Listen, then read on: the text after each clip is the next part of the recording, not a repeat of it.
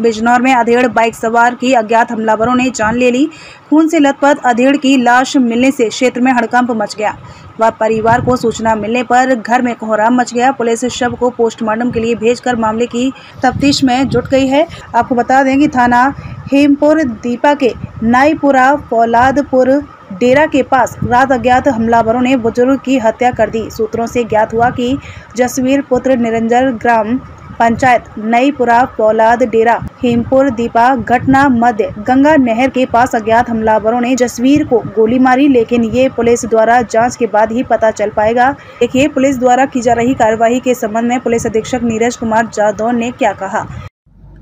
आज रात को लगभग सवा आठ बजे हिमपुर दीपा पुलिस को हिमपुर दीपा थाना क्षेत्र के जंगलों में नहर के किनारे एक व्यक्ति की डेड बॉडी मिलने की सूचना प्राप्त हुई। पुलिस तत्काल मौके पर पहुँची। घटनास्थल का बारीकी से निरीक्षण किया गया। डेड बॉडी की शिनाख्त नाईपुरा के रहने वाले जसवीर सिंह के रूप में हुई। इनकी उम्र 55 वर्ष है।